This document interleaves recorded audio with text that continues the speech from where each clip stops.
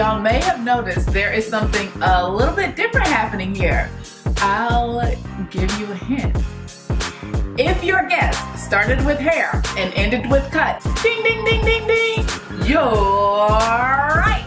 I got a haircut. Now, I'm no mind reader, but I can guess that some of you may be asking, why would you cut all of that beautiful hair off of your head? Why would you do that? Why? Well, I'm glad you asked. Here are the three main reasons I chose to cut my hair off. Number, number one, one, one. Anxiety. Everything I did revolved around my hair, like my work, my play, my sleep, like getting invited to an event or to an outing at the last minute was um, a, whoo, a headache. And when I say a headache, I mean a nightmare because if my hair wasn't on point, no, no, no, no, I'm not going.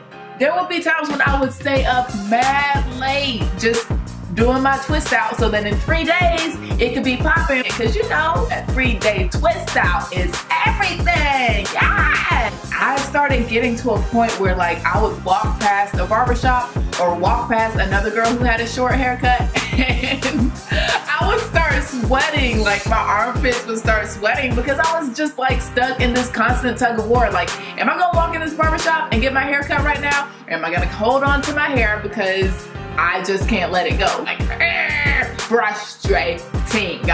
So finally, three weeks ago, I walked into a barbershop and I was just like, can someone please just cut all my hair off?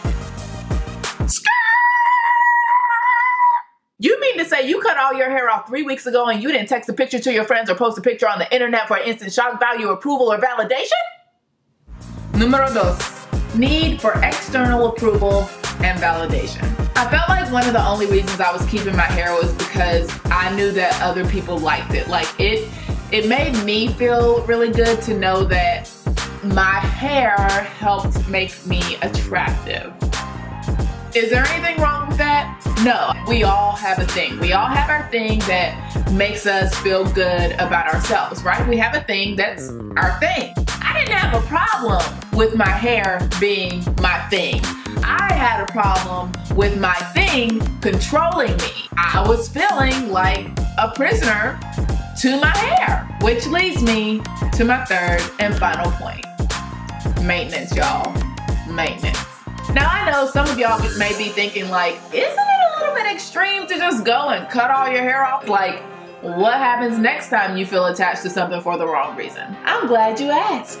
Cutting my hair off was not just about anxiety and a need for external approval. A lot, and I mean a lot, of it had to do with maintenance. Like, plain and simple. It was so much work, y'all. It was so much work, and I was so tired. And like I said before, like, I was literally losing sleep over making sure that my hair was on point. That's crazy. I just wanted something that was gonna be easier, something that was gonna be less maintenance, and I always wondered like what I would look like with the short, short cut, and now I know. Fabulous, honey, yeah!